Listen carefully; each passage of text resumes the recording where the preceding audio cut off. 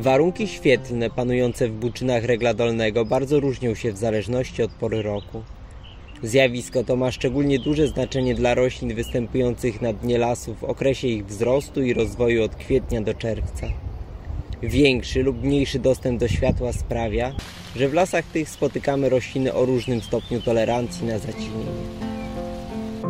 Kiedy nie było liści na drzewach, kwitły żywce. Po nich barwny ton na dnie lasu nadają białe kwiaty rzeżuchy trójlistkowej. Rzeżuchy kwitną gromadnie, co w ciemnym lesie, gdzie nie ma zbyt wiele zapylających owadów, jest sporym atutem, pozwalającym zwrócić ich uwagę. Uroda kwiatów rzeżuchy trójlistkowej jest podkreślona także przez kontrast z ciemną zielenią zimotrwałych liści przypominających kształtem koniczynę. W przypadku niepowodzenia w zapyleniu rzeżucha posiada także możliwość rozmnażania i rozprzestrzeniania się po dnie lasu za pomocą kłączy. Dziękuję za uwagę.